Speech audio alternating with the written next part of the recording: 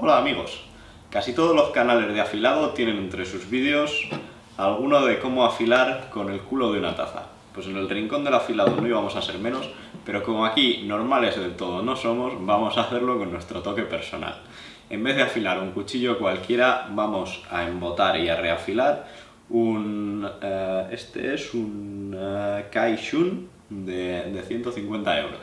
Aprovechando que no es mío y que me lo han prestado, y me dijeron, puedes hacerle lo que quieras. Digo, bueno, pues aparte de analizarlo, que ya tengo otro vídeo hablando un poco sobre él, vamos a desafilarlo y a volver a afilarlo con una taza.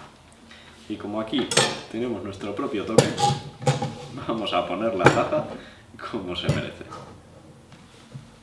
Llega justito, justito, a apretar aquí un poco. No nos da para cerrar las tuercas, pero bueno, tenemos nuestra taza bien sujeta. Y el problema que tenemos es que este cuchillo corta. Que veáis el filo que trae de fábrica, es un filo muy suave, es un filo con el que se puede hacer prácticamente cualquier cosa. Y vamos a aspirar a intentar devolverle uno lo más parecido posible. Primero tenemos que embotarlo, tapaos los oídos. Comprobamos en qué punto lo hemos dejado. Corta demasiado bien para lo que nosotros queremos.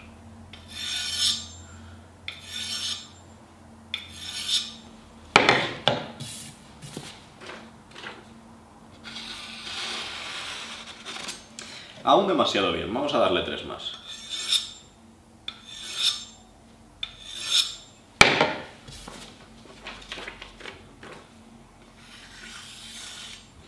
Ahora sí. Esto es totalmente experimental, esto no está preparado y es la primera vez que afilo con el culo de una taza. Pero bueno, a ver qué sale.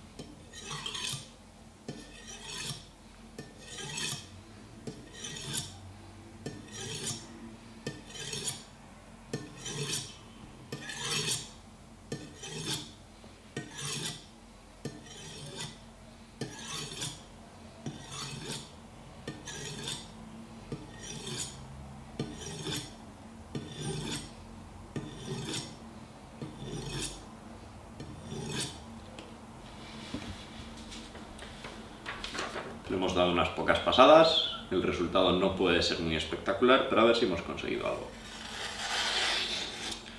Un poco. Sorprendentemente mejor de lo que esperaba. Vamos a ver en qué parte falla más. Por aquí muerde poco, por aquí ya va mordiendo más. Tenemos que trabajar sobre todo la base.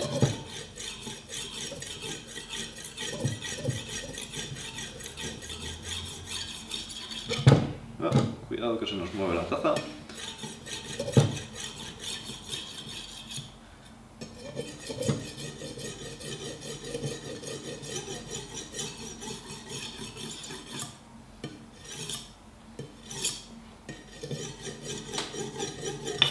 Como vemos, todo esto que es gris aquí en el borde es acero que estamos comiendo.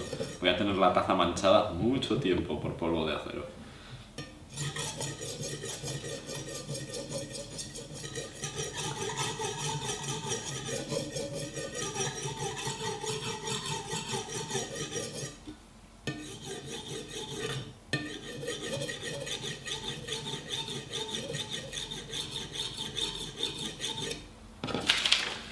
Vamos a ver qué tal. Y bueno, donde antes cortaba regular, ahora corta un poquito mejor. Voy a coger otro pliego. En mi afán de reutilizar, estoy con las hojas de haber revisado los cuchillos antes. Y bueno, la verdad es que de no cortar a poder hacer esto, parece que con una taza no se afila tan mal. No es un medio especialmente cómodo, ni, uno especialmente agradecido, pero oye, para salir del paso puede hacer el apaño. También hace mucho el tipo de acero que utilicemos a la hora de, afilar. con un medio tan malo como este, si tenemos un buen acero como es el de este Kaishun, podemos conseguir grandes resultados. Entonces, aquí a la hora de obtener un, buen filo son tres factores los que entran en juego. La calidad de abrasivo que tengamos, la calidad de acero que tengamos y la habilidad del que afine. La calidad del abrasivo y del acero es la que queráis pagar y la calidad de la técnica es la que queráis conseguir. Porque con práctica se puede conseguir prácticamente cualquier cosa. Ya veis como con una taza, un poco de, técnica, que eso se consigue con la práctica, y un cuchillo que tenga un acero decente, pues se puede salir del paso. Espero que os haya gustado el vídeo, que os haya resultado divertido y un abrazo muy fuerte a todos.